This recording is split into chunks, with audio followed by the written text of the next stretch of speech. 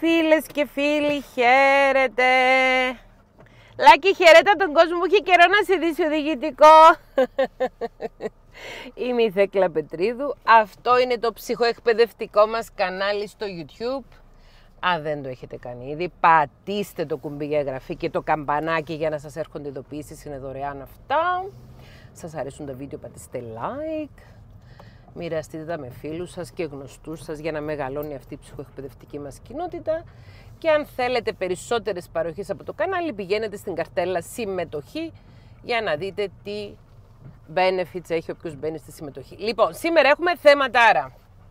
Λάκη είναι θεματάρα και πρέπει να την ακούσεις και εσύ γιατί τελευταίο, τελευταίο το παιδί μου έχει δεχθεί body shaming. Η λέξη body shaming στα αγγλικά, η έκφραση body shaming σημαίνει ντρόπιασμα για το σώμα. Τον έχει κάνει ο χτινίατρος συγκεκριμένα να νιώθει ντροπή για το σώμα του γιατί τον έχει αποκαλέσει παχύ. Ενώ μπορείτε να δείτε ότι πρόκειται για ένα καθώς πρέπει σκυλάκι. Λοιπόν, μία φίλη έγραψε στα σχόλια κάτι πολύ σύντομο και πολύ περιεκτικό, το οποίο αποτελεί πρόβλημα. Πρόβλημα που ταλανίζει πολλές γυναίκες, αλλά και άνδρες. Ναι, κυρίες και κύριοι, είμαι στη δυσάρεστη θέση να σας ενημερώσω ότι το να νιώθουμε άβολα για το σώμα μας και για την ηλικία μας δεν είναι πλέον προνόμιο εντός εισαγωγικών μόνο των γυναικών. Δυστυχώς ταλαιπωρούνται και οι άντρες. Δυστυχώς για όλους. Όχι ότι λυπάμαι τους άντρες περισσότερο από τις γυναίκες που ταλαιπωρούνται με αυτό το θέμα, αλλά είναι κρίμα που είναι όλο και περισσότερα τα θύματα αυτής της pop κουλτούρας η οποία εξειδανικεύει την νεότητα, εξειδανικεύει ένα συγκεκριμένο στυλ εμφάνισης και βάρους και προκαλεί body shaming, age shaming, προκαλεί ντροπή για το σώμα, ντροπή για την ηλικία, προκαλεί αρνητικά συναισθήματα στους ανθρώπους για τον εαυτό τους επειδή είναι άνθρωποι. Γιατί είναι μόνο ανθρώπινο να μεγαλώνουμε και είναι μόνο ανθρώπινο σε διάφορες φάσεις της ζωής μας να αλλάζει σχήμα, βάρος και το σώμα μας. Εδώ θέλω να πω κάτι που το έχουμε συζητήσει ξανά εδώ σε αυτό το κανάλι, ότι δεν είναι μόνο εμείς οι παχείς. Εμείς που έχουμε περισσότερα κιλά που δεχόμαστε discrimination, διάκριση, δέχονται και αυτοί που έχουν λιγότερα κιλά. Πολύ συχνά μπορεί ένα αγόρι ή ένα κορίτσι να ακούει κουβέντες «Μα δεν τρως τίποτα, μήπως έπαθες ανορεξία, φάε κάτι, είσαι φτερός στον άνεμο» κλπ. κλπ, κλπ. Δηλαδή αυτή η τάση που έχουμε ως κοινωνία να αστυνομεύουμε τα κιλά των άλλων είναι εγκληματική, επικίνδυνη ψυχικά και συναισθηματικά και αχρίαστη. Καταρχάς θέλω να σας πω το εξής. Δεν θέλω να θεωρήσετε ότι επειδή εγώ προσωπικά σε αυτή μου την έκδοση είμαι 96 κιλά, ότι θεωρώ πως όλοι πρέπει να είναι πολλά κιλά ή λίγα κιλά. Αντιλαμβάνομαι και μπορώ να διαχωρίσω τον εαυτό μου ως πρόσωπο από την άποψη που θα σας δώσω ως ψυχολόγος σε αυτό το ψυχοεκπαιδευτικό βίντεο. Εντάξει. Εκεί που μπορεί να είναι, να είναι χρήσιμη η δική μου πείρα, η προσωπική, έχει να κάνει με τα πολύ άσχημα συναισθήματα που ένιωθα για τον εαυτό μου και για το σώμα μου όταν ήμουν πολύ νεότερη και πολύ ελαφρύτερη. Γιατί ακριβώς η pop κουλτούρα και όταν λέμε pop κουλτούρα εννοούμε όλη, όλη αυτή την, όλες αυτές τις απόψεις για τη ζωή που εκφράζονται μέσα από τα περιοδικά παλιότερα, μέσα από το διαδίκτυο, μέσα από τις διαφημίσεις, μέσα από τις ταινίες, γενικά όλα αυτά τα οποία θεωρούνται in και must και πρέπει. Πρέπει όλοι να φαινόμαστε νεότατοι και πρέπει όλοι να είμαστε ε, ένα συγκεκριμένο size ρούχων. Αυτό. Λοιπόν, εδώ θέλω να πω ότι ο κάθε ένας από μας προσωπικά είναι εξαιρετικά καλή ιδέα να βάλει ως ύψιστο γνώμονα των κινήσεων του σε σχέση με την κατάσταση της, του σώματος του, τη διατροφή του και, του βάρους του και το βάρος του, ως ύψιστο γνώμονα την υγεία του. Δηλαδή, σε όποια ηλικία και να είμαστε, όσα κιλά και να ζυγίζουμε, είναι εξαιρετικά καλή ιδέα να έχουμε τον προσωπικό μας ιατρό, ο καθένας από εμάς να έχει τον προσωπικό του ιατρό, που νομίζω οι περισσότεροι τον έχουμε τώρα και λόγω του ΕΣΥ στην Ελλάδα και του ΓΕΣΥ στην Κύπρο, και να φροντίζουμε να κάνουμε τα προληπτικά τεστ υγείας, να βλέπουμε δηλαδή πώς είναι η υγεία μας και αυτό θα το δούμε εμείς, όχι εμείς, ο γιατρός μας ή και ο διαιτολόγος μας σε περίπτωση που θα μας παραπέμψει ο γιατρός στο διαιτολόγο, να δούμε πώς τα πάμε, τι αποτελέσματα έχουμε δηλαδή στις αιματολογικές μας, αν έχουμε αυξημένα τριγλικερίδια και ούτω καθεξής. Αν έχουμε δηλαδή κάποιους δείχτες, ένας άνθρωπος μπορεί να έχει κάποιους δείχτες υγείας, οι οποίοι διαφαίνονται μέσα από τις εξετάσεις τις αιματολογικές, των ούρων, αυτές που γίνονται, το check-up που γίνεται μια φορά το χρόνο.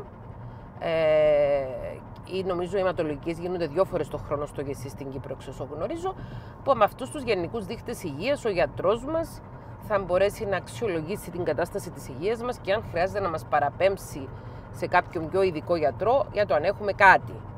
Τα κιλά μας, τα πολλά ή τα λίγα, είναι ένας δείκτης υπάρχουν πολλοί άλλοι δείκτες υγείας οι οποίοι διαφαίνονται μέσα από τις προληπτικές εξετάσεις και τα check-up, τα οποία πρέπει οπωσδήποτε να τα κάνουμε.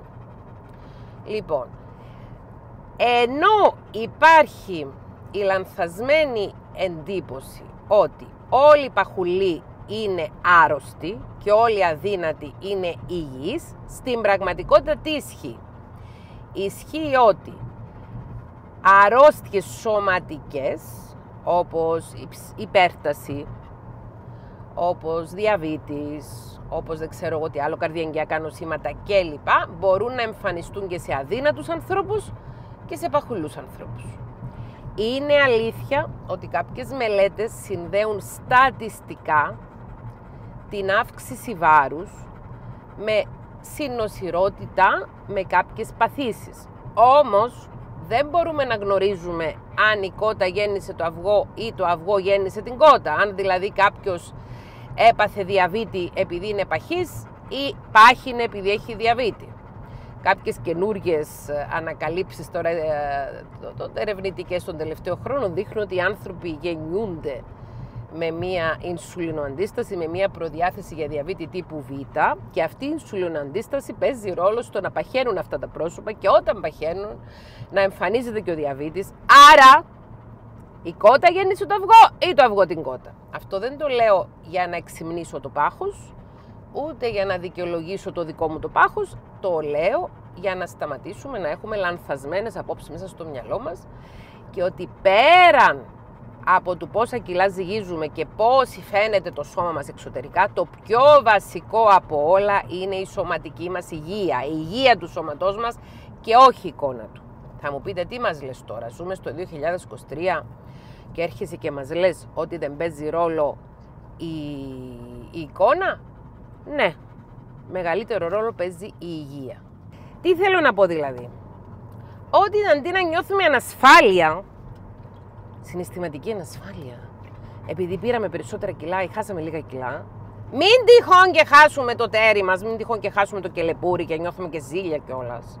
Ζηλεύουμε, μην ο άντρας μας, μην η γυναίκα μας βλέπει άλλους που έχουν διαφορετική σωματική εικόνα κλπ. κλπ. Καλύτερα να έχουμε έγνοια για την υγεία μας. Για το αν είμαστε υγιείς.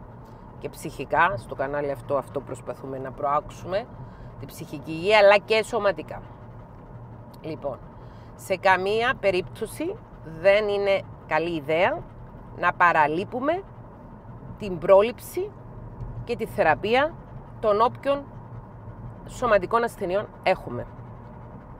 Και σας το λέω σήμερα μετά που α, εγώ ίδια προσφάτως πήγα επιτέλους και έκανα εξετάσεις τις οποίες φοβόμουν να κάνω και προ, προφανώς φοβόμουν να κάνω για το αποτέλεσμα που θα μάθαινα και έμαθα ότι έχω θέματα υγείας, τα οποία τα έχω χρόνια, τα οποία αν το ήξερα από πιο νωρίς, θα είχα καλύτερη ποιότητα ζωής και ίσως και μεγαλύτερο προσδόκιμο ζωής. Το προσδόκιμο ζωής είναι πόσα χρόνια θα ζήσει κάποιος.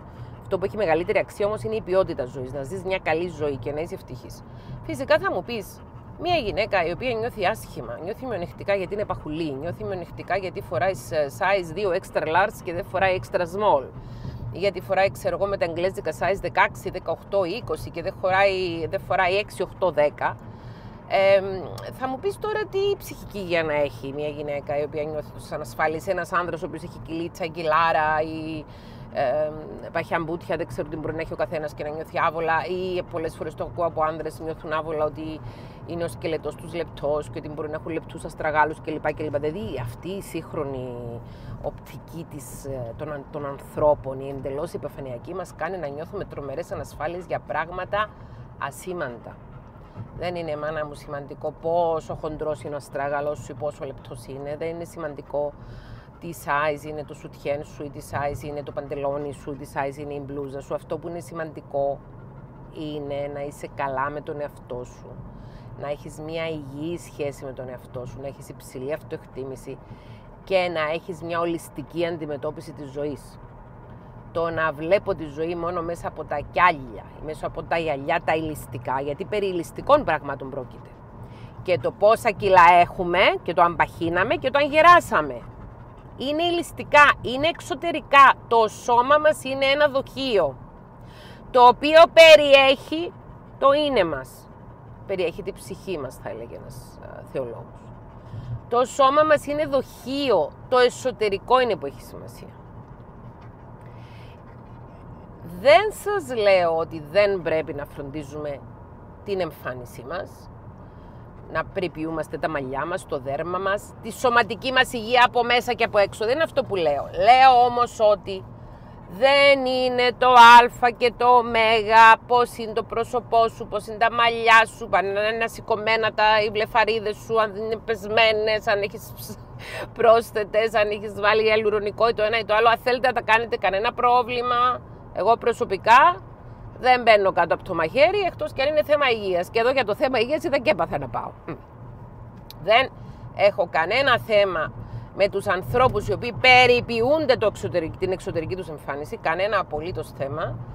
Εγώ σας είπα πολλές φορές ότι βρίσκω όλους τους ανθρώπους όμορφους, ότι κάθε άνθρωπος έχει τη δικιά του ομορφιά. Βρίσκω όμως ότι οι άνθρωποι εκείνοι οι οποίοι έχουν εσωτερική ισορροπία και τα έχουν βρει με τον εαυτό τους και είναι ψυχοεκπαιδευμένοι και ψυχοθεραπεύονται, αυτοί οι άνθρωποι βγάζουν ένα άλλου είδους φως το οποίο ομορφίζει το πρόσωπό τους όσα κιλά και να έχει το σώμα τους, ομορφίζει τη στάση του σώματος τους όσα κιλά και έχει το σώμα τους, τους δίνει μια γλυκύτητα όσο κι αν η εξωτερική τους εμφάνιση δεν ταιριάζει μέσα στα στάνταρτ που βάζει η pop κουλτούρα.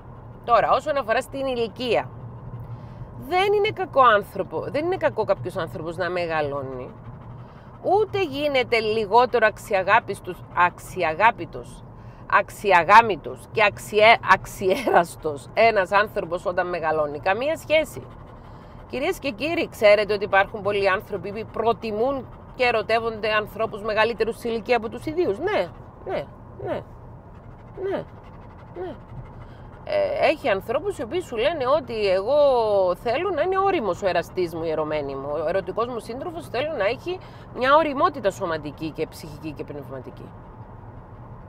Τι σημαίνει ότι επειδή μεγάλωσα θα με αλλάξει ο άλλος, νιώθω ανασφάλεια και ζήλια ότι ο άντρας μου, η γυναίκα μου θα με αλλάξει για ένα μικρότερο μοντέλο. Αν έχεις τέτοιο άντρα και τέτοια γυναίκα που το μυαλό της και το μυαλό του είναι στο, στην επιφάνεια, στο, στις ρητίδες ή όχι, στο, στη, στα χρόνια που γράφει πάνω η ταυτότητα ή το διαβατήριο, ε, τότε μάνα μου δεν έχει άντρα της προκοπής, δεν έχει γυναίκα της προκοπής, δεν έχει σχέση με άνθρωπο της προκοπής. Οπότε καλά κάνεις να γίνεις εσύ ο ίδιος άνθρωπος της προκοπής. Και κατά τη γνώμη μου και, το πνεύματο, και κατά το πνεύμα που διατηρούμε εδώ στο κανάλι, η προκοπή έχει να κάνει με την ψυχοσυναισθηματική ανάπτυξη, την πνευματικότητα και την ουσιαστική καλλιέργεια. Γνωρίζω ανθρώπους οι οποίοι είναι 70 χρονών και φαίνονται 45 και γνωρίζω ανθρώπους οι οποίοι είναι 70 χρονών και φαίνονται 95 και εκείνοι οι οποίοι φαίνονται πιο μεγάλοι από την ηλικία τους είναι αυτοί που είναι dead inside, που είναι πεθαμένη η ψυχή τους μέσα τους. Εάν έχουμε ζωντανή ψυχή, εάν έχουμε ζωντάνια στη ψυχή, τότε αυτή η ζωντάνια θα αποτυπωθεί και στο πρόσωπό μας. Θα κλείσω αυτό το βίντεο με εικαστικά. θα σας παραθέσω μια σειρά από φωτογραφίες που ήμουνα νεότερη και αδυνατότερη και αδύνατη ε, με μια σειρά από φωτογραφίες τωρινές και θα σας βάζω πάνω σε κάθε φωτογραφία τη χρονολογία. Σας λέω εντελώς εντύμως, δεν έχω κάνει καμία αισθητική παρέμβαση ή επέμβαση. Ναι, καθαρίζω το πρόσωπό μου με σαπουνάκι, με ειδικό facial wash, με υγρό σαπούνι προσώπου, πλένω το πρόσωπό μου, βάζω κρέμα ματιών και κρέμα προσώπου από 15 χρονών. Απλές κρέμες, κρέμα ματιών και κρέμα προσώπου. Ε, κάνω μπάνιο κάθε μέρα, λούζω τα μαλλιά μου κάθε τρεις μέρες, πηγαίνω στο κομμωτήριο, βάφω τα μαλλιά μου, κόβω τα μαλλιά μου, αυτό το ξέρετε γιατί με τα μαλλιά έχω λίγο τσιμήτρη, μία, μια περιορμητικότητα με τα μαλλιά. Έχω κάνει σε κάποια φάση ε, αποτρίχωση σώματος με λέιζερ, μετά ο γιατρός μου το απαγόρευσε όταν έπαθα το νομαλό λιχίνα, το αυτοάνωσο, αυτό φλεγμονώδες νόσημα στο δέρμα μου, είπε μην κάνεις ξανά αποτρίχωση με λέιζερ, όμως ε, έχουν μείνει τα καλά αποτελέσματα, ε, πρόλαβα και το έκανα. έχω κάνει αποτρίχωση με λέιζερ, τι άλλο έχω κάνει, αυτό, αποτρίχωση με λέιζερ έχω κάνει, τι αμυγδαλές μου μου είχε αφαιρέσει ο γιατρός όταν ήμουν 17, γιατί είχα ποιόδη αμυγδαλίδα πολλές φορές το χρόνο. Δεν έχω κάνει τίποτα στο πρόσωπο. Τίποτα, ούτε μπότοξ, ούτε ηλιορυνικό, ούτε τίποτα. Ε, Κάποιες φορές βάζω κοκκινάδι, κραγιόν, όπως αυτό που φοράω τώρα. Κοσμήματα όποτε θυμηθώ και ότι του φανεί του Λολοστεφανή. Επειδή με ρωτάτε για αυτή την καρδιά, την έκανα δώρο στον εαυτό μου πέρσι το, στα γενέθλια μου που έγινα 47. Αυτή την καρδιά ήθελα να έχω κάτι να φοράω στο λαιμό γιατί για πολλά χρόνια δεν φορούσα τίποτα και είναι μια καρδιά χρυσή που είχε ένα μικρό διαμαντάκι μέσα και φέτος έκανα στα γενέθλια με αυτά τα ταιριαστά σκουλαρικά και αυτά που τα έχω πάντα που έκανα δεύτερη τρύπα που είναι πάλι παρόμοιο σχέδιο για να έχω κάτι. Είπα ας πούμε αν εγώ τα, τα φτιάξα με τη θέκλα, αν την είχα ακόμα να λέω εγώ τη θέκλα, δεν σε έπαιρνα μια χρυσή καρδιά και ένα σετ σκουλαρικά και έτσι να είναι κομπλέ. Αυτό. Τατουάζ δεν έχω κάνει χωρίς να σημαίνει ότι απαγορεύεται κάποιος να κάνει τατουάζ. Εδώ έχουμε παιδί γεμάτα, ε, παιδιά γεμάτα τατουάζ. Δεν έχω κάνει τατουάζ, ούτε τα φρύδια μου έχω πειράξει, τίποτα. Τίποτα. Και θα δείτε τη διαφορά στις φωτογραφίες και θα καταλάβετε ότι δεν είναι τα κιλά που ασχημένουν, δεν είναι τα χρόνια που ασχημένουν, αλλά είναι η δυστυχία που ασχημένει τον άνθρωπο. Σας δείχνω τις δικές μου φωτογραφίες ως ένδειξη. Και επίσης, εάν νιώθετε ανασφάλεια λόγω της ηλικίας σας ή λόγω των κιλών σας και αυτό σας ταλαιπωρεί και επίσης νιώθετε και ζήλια προς το σύντροφό σας η οποία είναι έτσι αδικαιολόγητη και ίσως και παθολογική πηγαίνετε να κάνετε ψυχοθεραπεία. Όχι lifting, όχι botox, όχι άλλα πράγματα, ψυχοθεραπεία. Σοβαρά τώρα. Το λέω και το εννοώ. Πηγαίνετε να κάνετε ψυχοθεραπεία.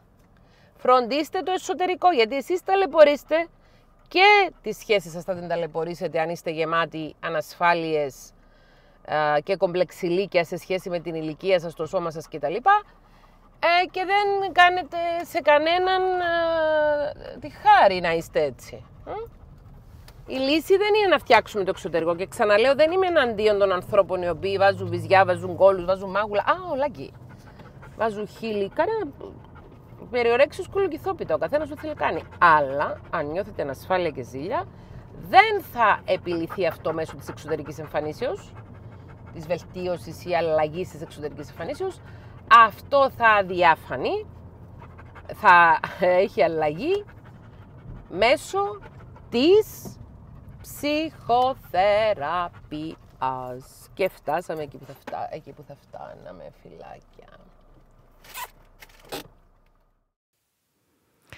Πάμε λοιπόν να δούμε μαζί τις φωτογραφίες. Η φωτογραφία που βλέπετε τώρα είναι μια φωτογραφία από την ηλικία που ήμουνα 14 με 15 χρονών. Είναι στην κατασκήνωση το καλοκαίρι και είμαι σκαρφαλωμένη πάνω σε ένα βράχο. Πηγαίναμε ε, στην κατασκήνωση του κατηχητικού στην Αγία Μονή. Ε, μία μέρα ξυπνούσαμε 4-5 το πρωί και κάναμε ορειβασία. Φτάναμε σε εκείνον τον, τον βράχο έτσι πολύ ψηλά και βλέπαμε την ανατολή του ηλίου. Και έχει ιδιαίτερη σημασία για μένα αυτή η φωτογραφία γιατί στο ίδιο σημείο έχει φωτογραφίες και ο γιος μου ο οποίος ε, έχει φτιάξει μόνο δύο τατουάζ ο Λάζαρος πάνω του. Ένα τατουάζ είναι με τις συνταγμένες του σημείου ακριβώς εκείνου και έτσι και ο ίδιος αλλά και εγώ νιώθουμε ότι μας ενώνει αυτό το κομμάτι της κατασκήνωσης, της ορειβασίας και της ανατολής του ηλίου. Η επόμενη φωτογραφία που θα δείτε τώρα είναι μια φωτογραφία που έχω βγάλει την ημέρα των γενεθλίων μου το 1990, όταν ήμουνα 15 χρονών. Είχαμε αυτή τη συνήθεια όταν ήμασταν μικροί, στα γενέθλιά μας να βγάζουμε φωτογραφίες. Και κάπου έχω πετύχει αυτή τη φωτογραφία όταν ήμουνα 15 χρονών. Σε αυτή τη φωτογραφία είμαι 16 ετών και είμαι 58 κιλά είναι το πιο αδύνατο που έχω υπάρξει ποτέ. Κοιτάξτε, κοιτάξτε να δείτε πόσο δεν μου ταιριάζει το να είμαι τόσο πολύ αδύνατη. Εσείς που νιώθετε ανασφάλειες για τα κιλάκια. Αυτή η φωτογραφία είναι μια φωτογραφία από το σπήλαιο των Ιωαννίνων. Πώς το λένε αυτό το σπήλαιο; Με τους ταλαχτίδες και τους ταλαγμίτες. Και εδώ είμαι 17 ετών. 17 ετών και είμαι και κάτω από 60 κιλά, σίγουρα. Και στο φυσικό μελαχρινό μου στυλ τότε που έβγαινα ακόμη στον ήλιο. Αυτή η φωτογραφία εδώ είναι από το πάρτι των τελειοφύτων. Ήμουνα 18 ετών δηλαδή τα μαλλιά μου μου τα είχαν φτιάξει στο κομμωτήριο, η αβάψη μου λόγος, το φουστάνι το είχε ράψει ο πατέρας μου από ένα μπουρτα. Θυμάστε, θυμάστε τα μπουρτα, τα περιοδικά στο οποία α, υπήρχαν τα πατρόν για να ράψεις μοντέρνα και καλά ρούχα για την εποχή. Ε, και κάναμε ένα ψυχολογικό κομμάτι στο πάρτι των τελειοφύτων και είχα γράψει εγώ το σενάριο για ένα τηλεοπτικό παιχνίδι, τηλεπαιγνίδι γνώσεων και αστείων που είχαμε κάνει με τους καθηγητές μας. Εδώ είμαι 18 ετών. Σε αυτή τη φωτογραφία, στα 20 μου χρόνια, βαφτίζω τη μοναδική βαφτιστήρα μου την Ελπίδα. Το φόρμα είναι πάλι από ένα μπουρτα, ε, το οποίο το έραψε ο πατέρας μου, ο παππούς μου ήταν ράφτης και επειδή ήταν ανοιχτός ο γιακάς και είχε ντεκολτέ, βάλαμε δαντέλα εδώ μπροστά για να είναι σεμνό. Και εδώ θα είμαι 61-62 κιλά. Τα δύο τρίτα δηλαδή των κιλών μου με τώρα. Και πάμε στη διάσημη φωτογραφία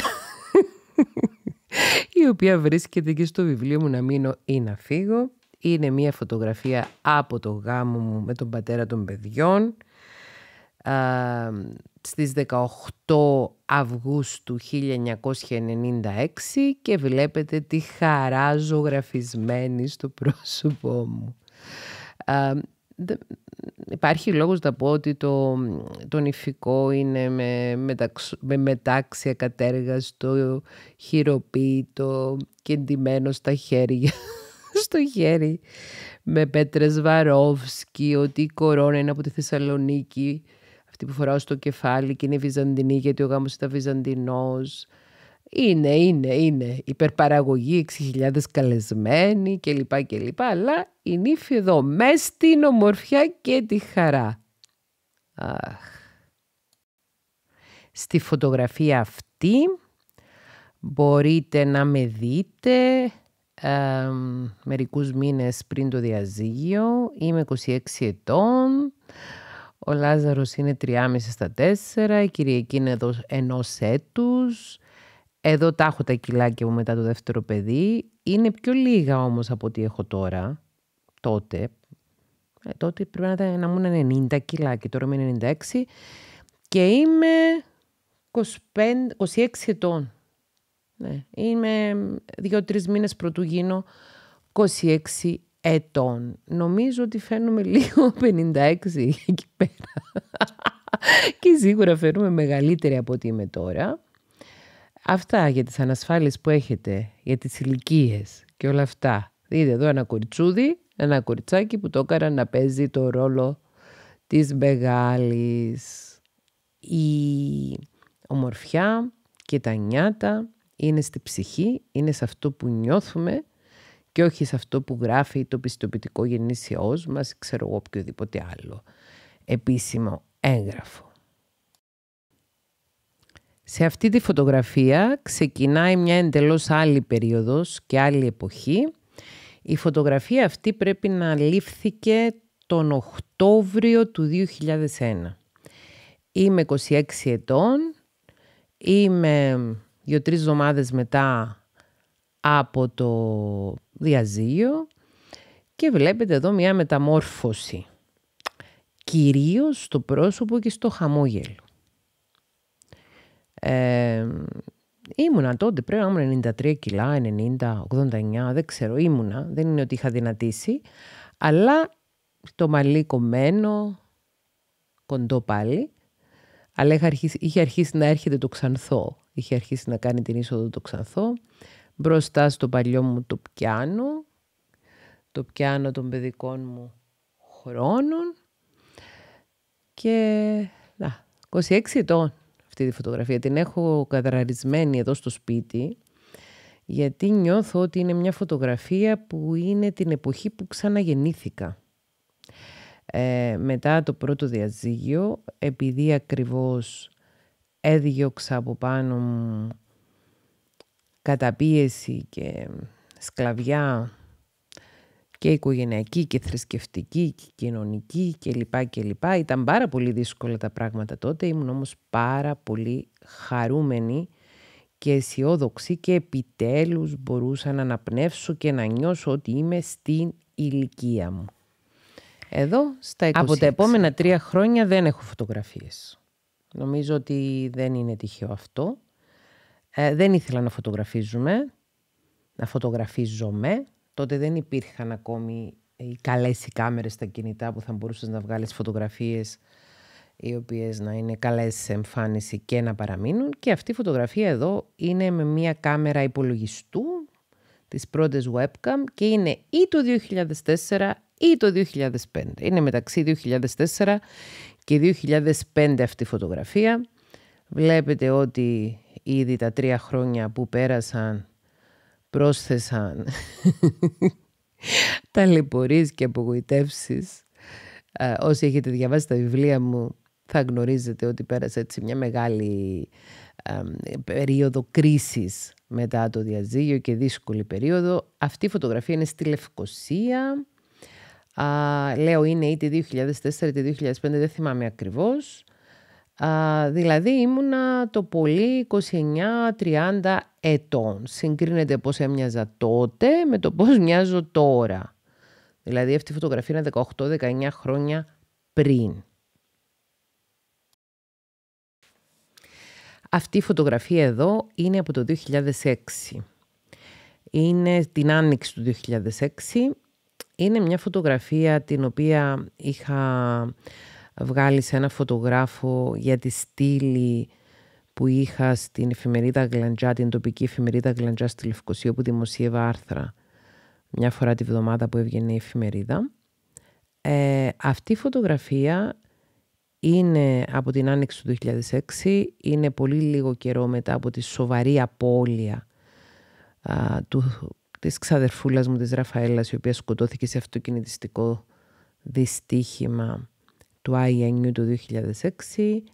Μέχρι τότε, από το 2004 που έχετε δει την προηγούμενη φωτογραφία, είχαν μακρύνει τα μαλλιά μου και τα είχα βάψει ξανθά. Όπως τα έχω τώρα, αλλά ήταν έτσι μακριά και πλούσια.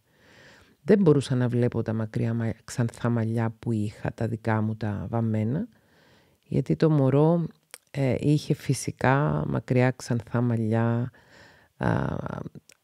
όταν έφυγε. Οπότε στις ε, 18-20 μέρες, 40 μέρες, πότε ήταν μετά που έφυγε το μωρό, πήγα στη θεία μου, τη μαμά της, η οποία είναι κομμότηρα και της είπα θέλω να μου βάψεις τα μαλλιά μου σκούρα και η θεία μου έχει να το λέει ότι αυτό που πήγα και τη ζήτησα να σηκωθεί και να εργαστεί στο να βάψει τα μαλλιά μου σκούρα ήταν κάτι που τη βοήθησε πάρα πολύ στη διαδικασία που περνούσε με το πένθος. Φυσικά έκανε και ψυχοθεραπεία, όχι σε μένα, σε άλλον ειδικό, η οποία την έχει βοηθήσει πάρα πολύ και η θεία μου η Λένια Πετρίδου είναι ένα υγιές παράδειγμα μιας μητέρας που χάνει το παιδί της, αλλά καταφέρνει να υπερβεί το πένθος, να μην περάσει στο περιπλεγμένο πένθος και να είναι ένας άνθρωπος που να είναι καλά, χωρίς να σημαίνει ότι δεν αγαπάει το παιδί του ή δεν το σκέφτεται ή το έχει ξεχάσει σε καμία περίπτωση.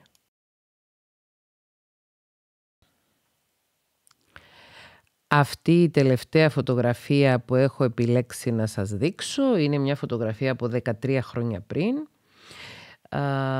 ήμουνα δηλαδή το 2010 ήμουνα 35 χρονών είναι μια φωτογραφία η οποία φυσικά έχει τραβηχτεί στην Disneyland στο Παρίσι όπου είχα πάρει τα παιδιά για ταξίδι. Με βλέπετε εδώ πέρα. Νομίζω ότι ίσως τώρα φαίνομαι νεότερη από ό,τι φαινόμουν τότε. Σίγουρα τότε ήμουν 80 κιλά, ενώ τώρα είμαι 96. Σας είπα, δεν έχω κάνει καμία επέμβαση πλαστική στο πρόσωπο, στο σώμα και τα λοιπά. Θεωρώ όμως ότι όσο ο άνθρωπος μεγαλώνει, εάν ε, ανανεώνεται πνευματικά και ψυχικά, τότε μπορεί και η εξωτερική του εμφάνιση. Δηλαδή ο τρόπος με τον οποίο φέρει τον εαυτό του, ο τρόπος με τον οποίο κυκλοφορεί τον εαυτό του ανάμεσα στους άλλους ανθρώπους και μέσα στο χώρο, δίνει μια διαφορετική εικόνα. Δηλαδή δεν είναι τα κιλά που δίνουν την ομορφιά, δεν είναι η εμφάνιση ρητίδων ή η μη ύπαρξη ρητίδων που δίνουν την ομορφιά, δεν είναι τα χρόνια, είναι το πόσο ανανεωμένη από μέσα νιώθει η ψυχή. Ε, σίγουρα είναι θέματα αυτά τα οποία δεν είναι εύκολα να συζητηθούν και να επιληθούν οπωσδήποτε σε ένα βίντεο της μισής ώρας, όμως είναι σημαντικό να έχουμε στο μυαλό μας ότι εάν ταλαιπωρούμαστε από ανασφάλειες σε σχέση με τη σωματική μας εικόνα, την εμφάνιση μας και την ηλικία μας, η ψυχοθεραπεία θα μας βοηθήσει πολύ να συμφιλιωθούμε με τον ίδιο μας τον εαυτό και να αγαπήσουμε τον εαυτό μας.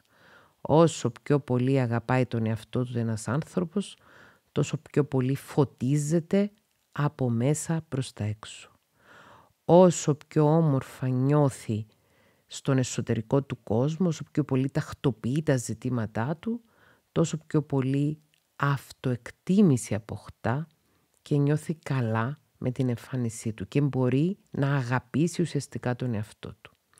Και ένας άνθρωπος που αγαπά ουσιαστικά τον εαυτό του δεν μένει ούτε στην εξωτερική εμφάνιση για τον ίδιο, αλλά ούτε και στην εξωτερική εμφάνιση για τους άλλους. Δεν θεωρεί δηλαδή ότι οι άλλοι θα τον αγαπήσουν μόνο και αν έχει μια συγκεκριμένη εξωτερική εμφάνιση, αλλά η έγνοια του είναι πώς να αγαπήσει ο ίδιος βαθύτερα και γνησιότερα τον εαυτό του και πώς να συνδεθεί με υγιέστερους τρόπους, με βαθύτερους τρόπους με τον εαυτό του και με τους άλλους. Και παρόλο που σας είπα ότι αυτή θα είναι η τελευταία φωτογραφία, ε όχι θα τελειώσω με αυτήν. Και είναι φυσικά μια φωτογραφία από την πρόσφατη συνάντησή μας στην Αθήνα, από το ψυχολογικό εργαστήρι που έγινε στις 18 Μαΐου 2023, όπου είμαι πραγματικά χαρούμενη και έρχομαι από παραμονή σε νοσοκομείο, από ενδοσκοπήσεις, από ταλαιπωρίες, από, από, από, αλλά η αγάπη και η ουσιαστική συνδεσιμότητα με τους ανθρώπους μας, τους ανθρώπους της κοινότητάς μας, του καναλιού μας, δίνει στο πρόσωπό μου αυτή τη λάμψη η οποία είναι ομορφιά που έρχεται από την αγάπη σας. Η αγάπη μας ομορφαίνει. Η αγάπη μας γεμίζει το μέσα και το έξω μας. Μοιράζομαι και αυτή τη φωτογραφία με δύο φίλες γιατί νομίζω η χαρά είναι μεγάλη και χαίρομαι. Ας αγαπήσουμε τον εαυτό μας.